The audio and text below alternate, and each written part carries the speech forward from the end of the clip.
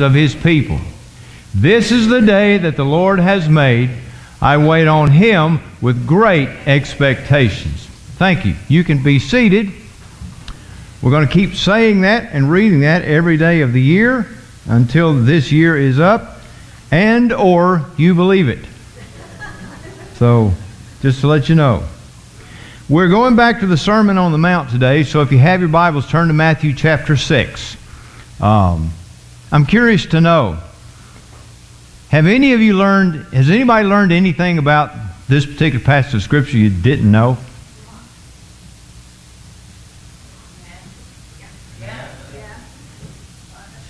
Is anybody awake? I hope so. The idea is for the, to let the Scripture form you and conform you. And remember this the preaching of the Word of God is for two purposes it's to either comfort the disturbed or disturb the comfortable. All right? So let's go back to the model prayer. Um, if I can get this to advance. And we're in Matthew 6, starting with verse 19. Jesus said, Pray then like this Our Father in heaven, hallowed be your name. Your kingdom come, your will be done on earth as it is in heaven. Give us this day our daily bread, and forgive us our debtors, our debts, as we have forgiven our debtors. And lead us not into temptation, but deliver us from evil. All right, we got most of the way through this last week. We're going to finish the prayer today. We're not going to finish the Sermon on the Mount, uh, but we will finish the model prayer. And we're going to start with verse 11 where Jesus said, Give us this day our daily bread. What's this next slide? Okay, that's the rest of the prayer. We'll get to that in a minute. Now, for those of us who live in the Western world, especially those of us who live here and are blessed to be in the United States, the, the idea of praying for something that is in as much abundance as bread as we have here today almost seems like a needless prayer. I mean, the truth is, you look around the United States, we, we, we could really stand to slow down on our food consumption. I mean, the truth of the matter is, the United States is the most obese nation on, on, the, on the planet. Now, if you're talking about a Christian who lives in Ethiopia or in Venezuela, a request like this would make great sense. I mean, but for the most part, Give us this day our daily bread is almost an irrelevant prayer for most well fed Americans. But this part of the prayer applies to a lot more than just what we eat. In fact, I want to break down from you uh, uh, some of the elements of how God provides for us according to what this scripture says. What does God provide? Well, let's start with the substance of the prayer. Bread is not just food. Bread symbolizes everything we need for every day. In fact, Martin Luther said this. He said, everything necessary for the, for the preservation of this life is bread, including food, a healthy body, good weather, a house, home, wife, children, good government, and peace. So, um, I just read that for you. Now I'll show it to you. Y'all can, can y'all tell what kind of week I've had? Here's what's amazing about God. God spoke the entire universe into being. Just with the Word. He spoke it and it was. This same God who controls all of time and space, this all sufficient, all surpassing, encompassing God cares about providing for the things that you need from day to day. Now, think about that. He's concerned about your food, your clothes, your lodging. In fact, he obligates himself to provide those things for his children. And when you look at this prayer, you realize it's both a request, but it's also an affirming declaration. And that's why it's just as applicable to the well fed American as it is to the person in a third world country who has very little or nothing to eat. It declares, that every good thing we have comes from Him. James 1 and 17 says this Every good and perfect gift is from above, coming down from the Father of lights, with whom there is no variation or shadow due to change.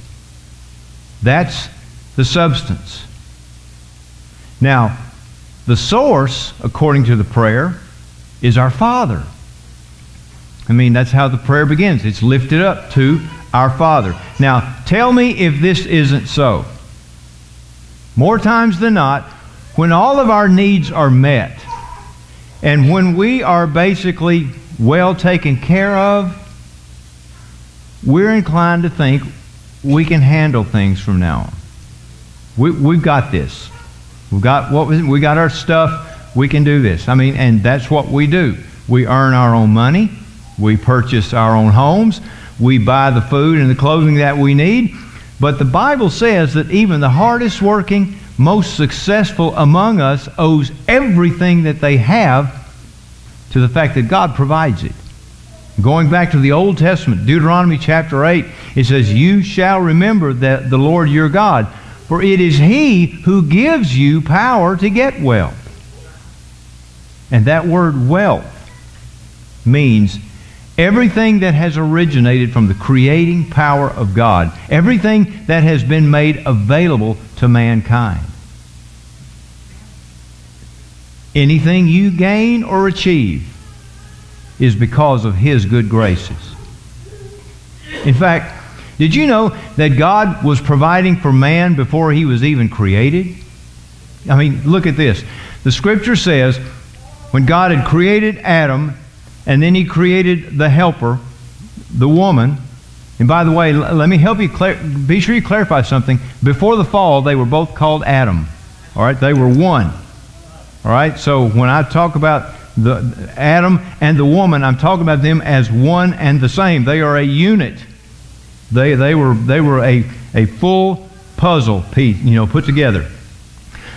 But before God had created them, look at this. After he done, after he done so, after he had blessed them, he said this, Behold, I have given you every plant yielding seed that is on the face of the earth, and every tree with seed in its fruit. You shall have them for food. Get this.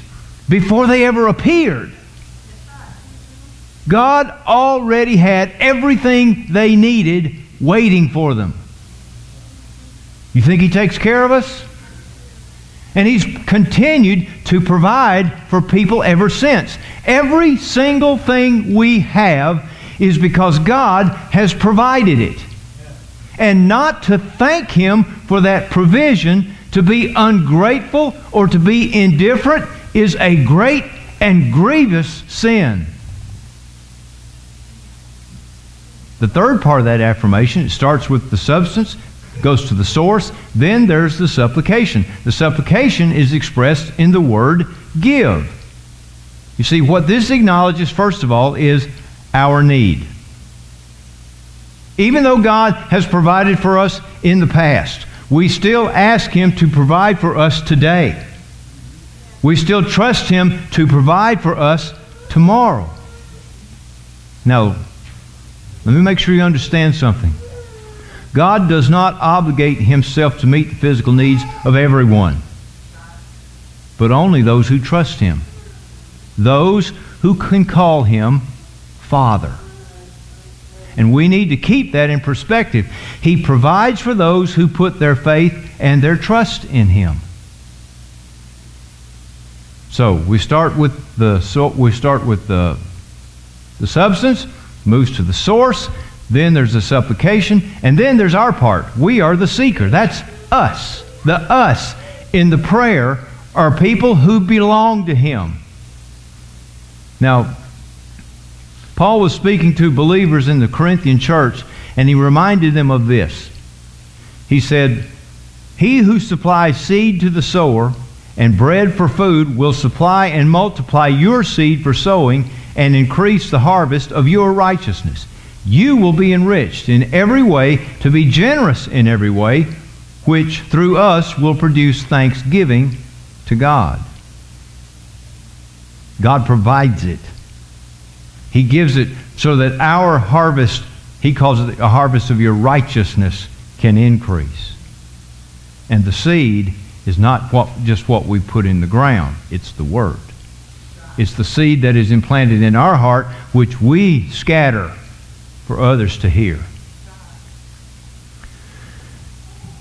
Did you ever stop to think that the greatest cause of famine in the world is not from poor agricultural practice or from inadequate growing situations? It's because of spiritual darkness. Now, think about this with me for just an, a moment as an example. India is one of the most impoverished nations on the face of the earth. But their Hindu belief system hinders any attempt that might be made to try to change that environment. You see, the typical Hindu believes that man is just the incarnation of a soul that is making its way through uh, existence to moksha, which is called the place of final release. And on this journey, every soul will go through a multiple cycle of reincarnation. And you will either go up the ladder or go down the ladder according to the way you are living in this current existence. Therefore, they see poverty and sickness as penance for people's previous sins.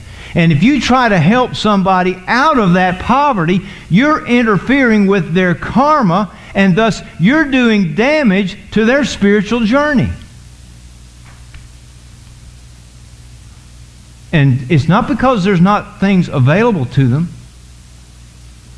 You know, the Hindus, they don't eat animals.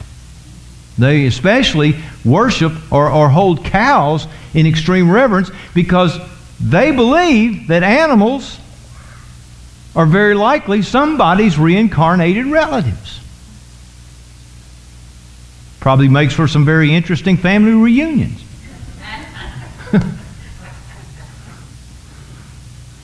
but now consider this for comparison.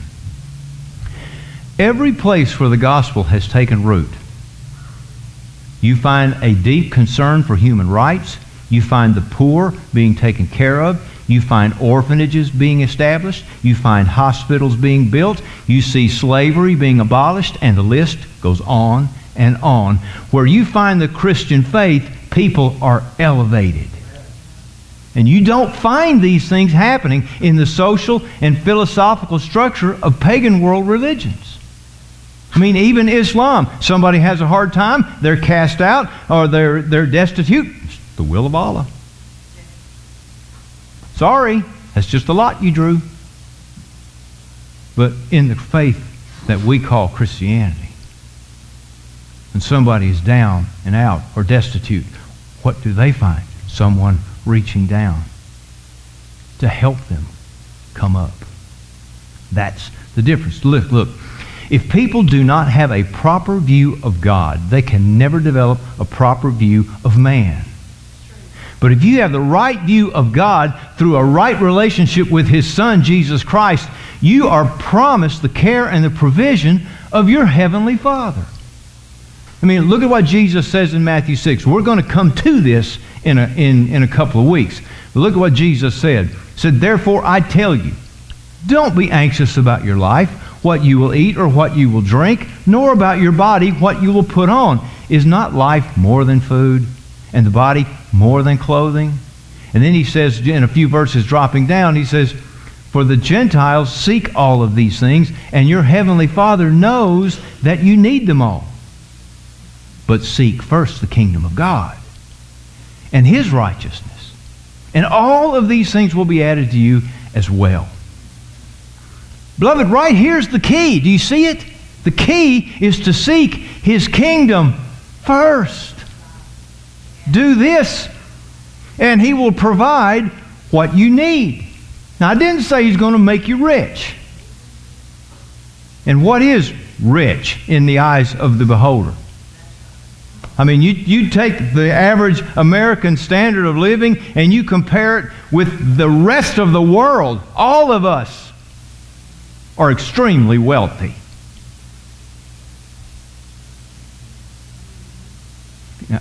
Are y'all asleep or are you with me? All right? I, I, I'm, I'm hoping I'm making you think. That, that's the key. All right? So you've got substance, source, supplication, seeking, and that brings us to the schedule. Give us this day, today, every day, day by day. This means we trust Him one day at a time. We don't, we don't expect Him to provide for us for the week, not for the month, not for the next year. We pray for His provision today, for today. Remember Israel in the wilderness, and God began to provide manna. Do you remember the instructions? Gather enough for what you will need today. Don't, don't gather for tomorrow. Just gather what you need today. Some had to learn that lesson the hard way. You remember what they did? They gathered more than they needed, thinking, ha, tomorrow morning we're going to sleep in.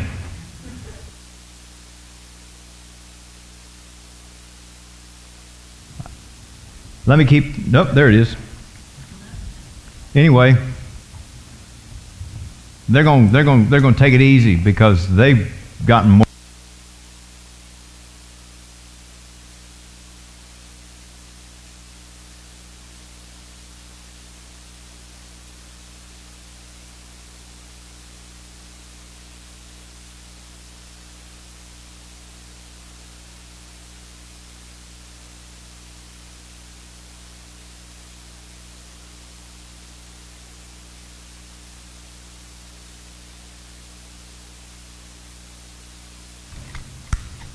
So, physician, physician, heal thyself. Where was I? We're talking about the people with manna, right? So they, they gather more than they need for the next day, and they get up the next morning, they go to their, their little clay pot, and they open it up for breakfast, and there's nothing like a great big pancake made of maggots. Because that's what they found. They, it could not be stored overnight because God wanted them to understand, I will take care of you day by day. You with me? Any of y'all need batteries? All right, let's move on. Let's talk about what God pardons. And this is continuing in in verse 12. He says, And forgive us our debts as we forgive our debtors. Now, I want to highlight the word debts here. This comes from a Greek term, opheilema, which is one of five words in the Greek that we translate as the word sin. Now, this particular word in the verb form is used 30 plus times in the New Testament, and it always refers to moral or spiritual debt. You know, sin is a moral, spiritual debt that we owe to God, and it is a debt that has to be paid. And we're not talking about owing money. We're talking about owing our very spiritual existence. So, here's the problem. The problem is our sin. See, sin is that thing that separates us from God. This makes, this makes sin man's greatest problem, and it makes and this is man's greatest enemy. See, sin has contaminated every person that has ever lived and has and what has sin done to us as a race, as a human race? It's made us susceptible to disease, to illness, to every form of evil. It has brought unhappiness into our lives. It ultimately leads to death and to condemnation. And the common denominator in every crime, every theft, every murder, every immoral act, every sickness, every pain, and every sorrow is sin. It's the moral and spiritual disease for which we have no cure. But those who trust in Jesus have received pardon for their sin, and they are saved from eternal hell. They are trusting in Jesus, and that pays the debt that we owe. Now, because man's greatest problem is sin, and his greatest need is, is forgiveness, that brings us to what God provides, and that is a Savior. We need to pray, forgive us. You see, forgiveness is really the core value of all six of these verses. You see, forgiveness is mentioned six times in this brief little prayer, and it says that everything either leads or takes us away from being forgiven. And listen to me carefully. Even Christians, if they allow themselves to be tempted, can fall back into sin. I don't like that. I wish I could, I wish I could change it, but I'm not, I'm not Calvinistic enough. but here's what James, or what John said. This is a reminder and a warning. He said, if we say we have no sin, we deceive ourselves and the truth is not in us. If we confess our sins, he is faithful and just to forgive us our sins and to cleanse us from all unrighteousness. Listen, beloved, the wonderful thing about God is this He's eager to forgive sinners. And fortunately, He is also a God of second chances. Paul said in Romans 5 and verse 20, he says, Now the law came in to increase the trespass, but where sin increased, grace abounded all the more. Now that doesn't mean you sin to get more grace. It's just saying, listen, if you blow it, there's grace enough. Just don't blow it. Stay true, stay righteous. So, we've got the problem, you've got the provision, We've got a plea, and that plea is forgiveness. Asking for forgiveness implies you've got something to confess. And if you don't offer your feet to Christ, He can't wash them. Do you hear me? That's a great, that's, I love that picture. I, I worked on that one all week. If you don't offer your feet to Christ, He can't wash them. Sin has to be confessed before it can be forgiven. Listen to me, forgiveness is conditional.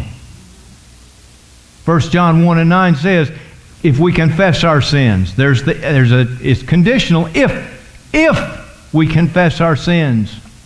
He is faithful and just to forgive our sins and to cleanse us from all unrighteousness. Listen, to confess basically means I agree with God that my sin is defiling, it's wicked, and it has no part in any relationship with Him. But it's hard for people to confess their sins because pride is a powerful force. And that's what keeps us from confessing. Nothing else. It's just our pride. Proverbs 28 and 13 says, Whoever conceals his transgressions will not prosper, but he who confesses and forsakes them will obtain mercy. Listen to me, beloved. A true and committed believer will never treat God's promise of forgiveness as a license to sin. You listen, you're treading on very thin ice when you begin to abuse and presume on His grace. I mean, on the contrary, you ought to regard your forgiveness as a springboard towards spiritual growth and to sanctification. Yet, we ought to constantly be thanking God for a love that is so great. You know how great it is? While we were still sinners, Christ died for us. There's an old Puritan saint, centuries past, prayed this prayer. Grant me never to lose sight of the exceeding sinfulness of sin, the exceeding righteousness of salvation, the exceeding glory of God, the exceeding beauty of his holiness, and the exceeding wonder of grace. A lot of exceeding in there. And that brings us to the pre-existing condition. Now there's, I, I put this in here because there's a little bit of a caveat in this prayer. You see, we have to address something of great, of great importance if we desire to be forgiven. Forgive us our debts as we have forgiven our debtors. And beloved, here is a sobering but very simple principle. If we forgive, we will be forgiven. If we will forgive, we will be forgiven. Turn that page over. If we will not forgive, what do you think it says? We will not be forgiven. You see, we're called to forgive because forgiveness is a characteristic of the heart of righteousness. If we are citizens in the kingdom of God, we have been blessed and we have received mercy, but only if we have been merciful. Let me take you back to Matthew 5 and verse 7. Blessed are the merciful, for they shall receive mercy. It's conditional. The prerequisite is even you must love your enemies. Remember this even your enemies were created in the image of God. We forgive because it's the example that Christ gave us. Ephesians 4 and verse 32 says, Be kind to one another, tender-hearted, forgiving one another, as, Christ, as God in Christ forgave you. So here's what forgiving one another does. Forgiving others reflects the grace and the forgiving nature of God, and it demonstrates the highest virtue that a man can achieve. Proverbs 19:11 says, "Good sense makes one slow to anger, and it is his glory to overlook an offense." And be sure you hear this. As you forgive others, you escape God's discipline. Listen, if you have an unforgiving spirit, that's sin. And where there is sin, there is discipline. I mean, the Apostle Paul spoke about this problem of unrepented sin in 1 Corinthians 11. I don't have that one up here, but listen to this. He said, That's why many of you are weak and ill, and some of you have died. Do you fully understand what this means? This says a bitter, unforgiving spirit can damage your health. And when it comes to forgiveness, God deals with us as we deal with others. We must be as forgiving and gracious towards other people as He is towards us. Thomas Manton said this. He said, There is none so tender to others as they which have received mercy themselves, for they know how gently God hath dealt with them.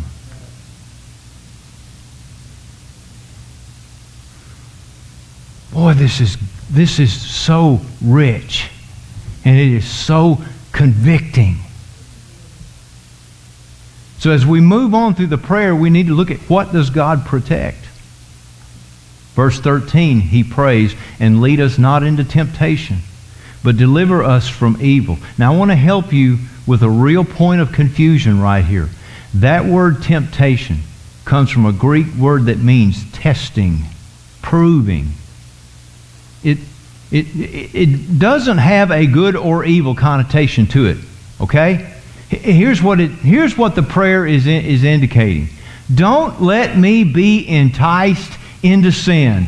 Keep me from the things that, that might, might test my resolve to stay holy. Beloved, listen, if you are a child of God, I can guarantee you this God will never lead you anywhere or into anything that will make you sin. That goes completely against His nature. In fact, James confirms this in the first chapter of his letter when he said, Let no one. Um, let no one say when he is tempted, I'm being tempted by God. For God cannot be tempted with evil, and he himself tempts no one. But you say, but that opens the door to one of those paradoxes. Go to same chapter, but back up a couple of verses in James. He says, Count it all joy, my brothers, when you meet trials of various kinds, for you know that the testing of your faith produces steadfastness. We know that trials are a means for us to grow spiritually. Yet at the same time, we have no desire to be placed into any situation that might compel us to sin. I mean, if you want a hard example, you remember the night that Jesus was betrayed? The prayer that he prayed in the garden when he said, My Father, if it is possible, let this cup pass from me. Nevertheless, not as I will, but as you will. Listen, he was dreading the prospect of having the weight of the sin of the world placed upon him.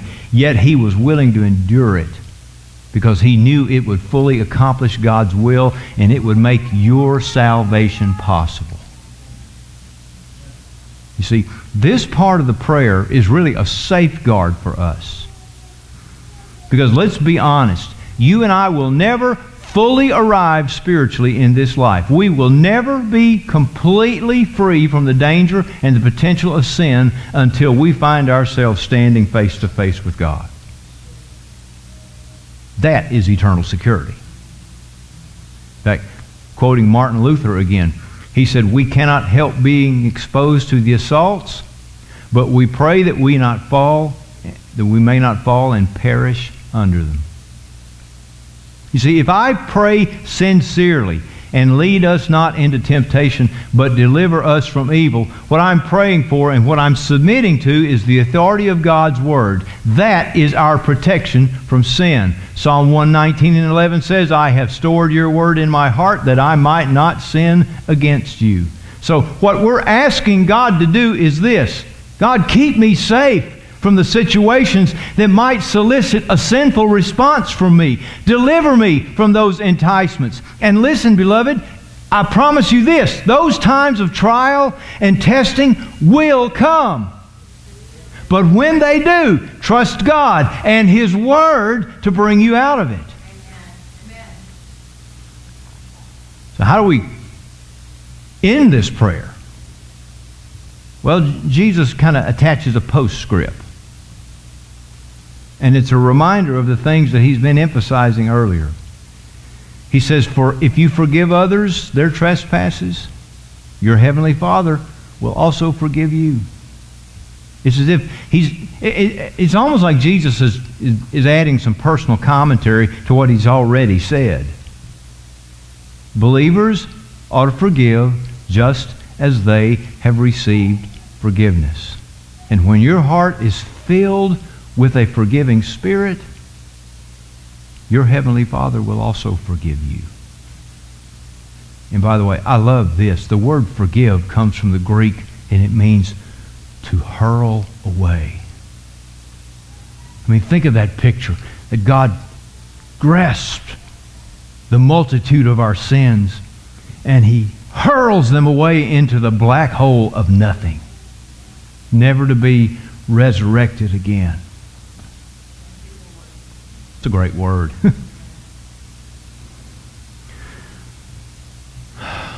An unforgiving spirit is completely incompatible with somebody that's been forgiven by God. It frees us from God's wrath, a forgiving spirit, and leads us into God's mercy. But we know what happens if we don't have one. I want to read you a parable real quickly. You, I hope you recognize this. It's the parable of the unforgiving servant. I, I didn't want to. I didn't want to reference. I want to read it. Listen to you to it, if you will. Peter came to Jesus and said, "Lord, how often should I forgive someone? Someone who sins against me? Seven times? No, Not seven times, Jesus replied, but seventy times seven. Therefore, the kingdom of heaven can be compared to a king who decided to bring his accounts up to date with servants who had borrowed money from him. In the process, one of his debtors who, who was brought in owed him millions of dollars. He couldn't pay. So the master ordered that he be sold, along with his wife, his children, and everything he owed, to pay the debt. But the man fell down before his master and begged him, Please be patient with me, and I will pay it. And his master was filled with pity for him, and he released him and forgave his debt. But when the man left the king, he went to a fellow servant who owed him a few thousand dollars. He grabbed him by the throat and demanded instant payment. His fellow servant fell down before him and begged for a little more time. Be patient with me, and I will pay it, he pleaded. But his creditor wouldn't wait. He had the man arrested and put in prison until the debt could be paid in full. When some of the other servants saw this, they were very upset. They went to the king and told him everything that had happened. Then the king called in the man he had forgiven and said, You evil servant, I forgave you this tremendous debt because you pleaded with me. Shouldn't you have mercy on your fellow servant just as I had mercy on you? Then the angry king sent the man to prison to be tortured until he had paid his entire debt. That's what my heavenly Father will do to you if you refuse to forgive your brothers and sisters from your heart. You see, if we have received forgiveness and then we refuse to forgive others, God's response is quick and it's severe. But if you do not forgive others their trespasses, neither will your Father forgive your trespasses. One of the most dangerous things we have to deal with is an unforgiving heart, a bitter spirit. Because these things forfeit God's blessings and it opens the door to judgment. To receive pardon from a holy God and then refuse to pardon others is a gross abuse of mercy. And James says in chapter 2 For judgment is without mercy to one who has shown no mercy. Mercy triumphs over judgment. So let me try to compress this model prayer just down into a, a, a brief capsule. God is holy, and we desire to see His will done on the earth. He provides for us daily as we trust in His provision. He will never lead us astray. And He will forgive our sins, that is, if we will also be forgiving. Beloved, listen to me. Listen, listen, listen, listen. Everything hinges on that last statement. Everything. If you want to know this holy God, if you want to experience His will being done in and through your life, if you want Him to provide and take care of your needs, if you want Him to guide your steps, if you need and desire His forgiveness, listen, it all hinges on your willingness to forgive those who have sinned against you. And if you are unwilling, everything else is voided and invalidated.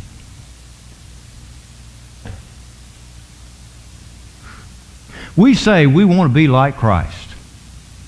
I want to be like Jesus. I want people to see Jesus in me. But if they can't see forgiveness, if they have sinned against you and if they cannot see forgiveness, they do not see Jesus.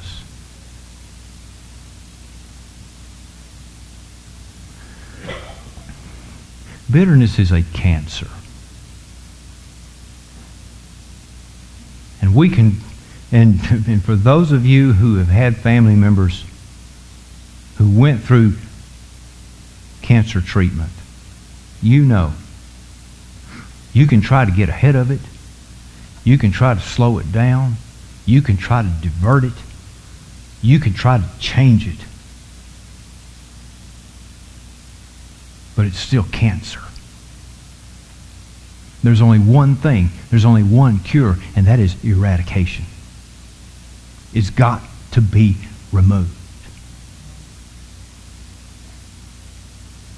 If there is bitterness, if you carry a bitterness in your heart, beloved, against anyone,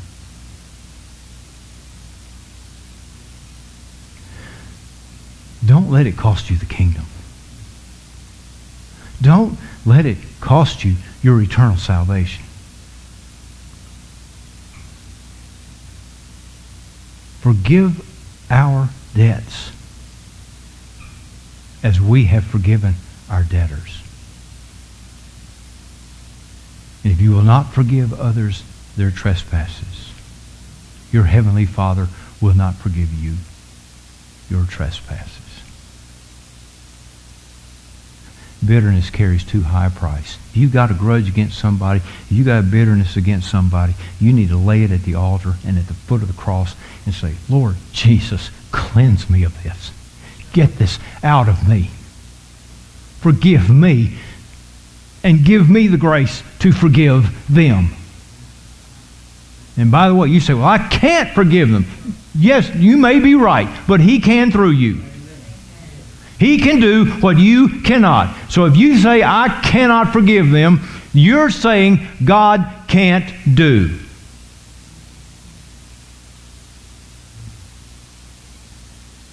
We're about to, to close and we're, we're going to sing.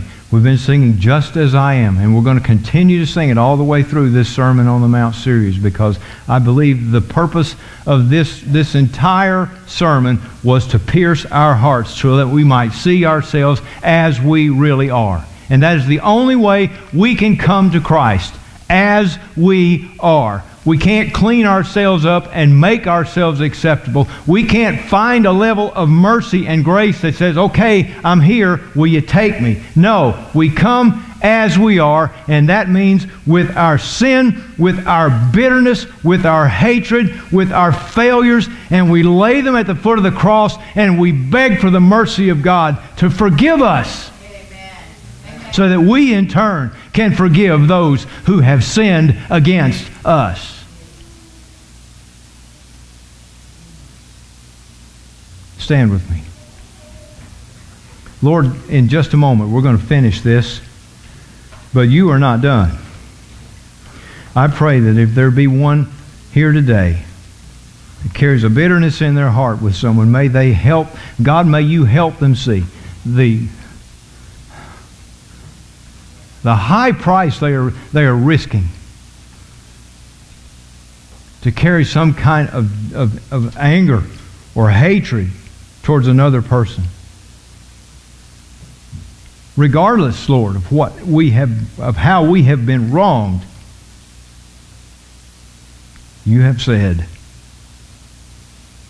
as you, as we forgive our debtors. I pray, Lord, for everyone here who has been wounded and who has deep injury in their heart. God, I pray today they'll, be, they'll begin to take a step that will lead them to a place where they will find healing for the hurt that they carry and that the anger and the rage that they, they feel against that other person or persons God, may the healing salve of Christ just cover them and begin to mend that wound so that they can come to that place where they can say, As I have been forgiven, I so forgive you. God, help us. We don't want to lose the kingdom. And I pray that you would help us be forgiving because you have forgiven us. We pray this in Jesus' name. Beloved, I don't have to say anything else. The altar's here. If God is saying, as I have forgiven you, forgive them. Place of forgiveness begins with your confession. and with your and with your determination to forgive. The altar's here. We invite you to come as we sing.